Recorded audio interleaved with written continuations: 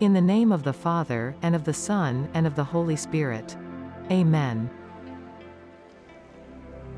At the end of this day show us again, O Lord, your mercy.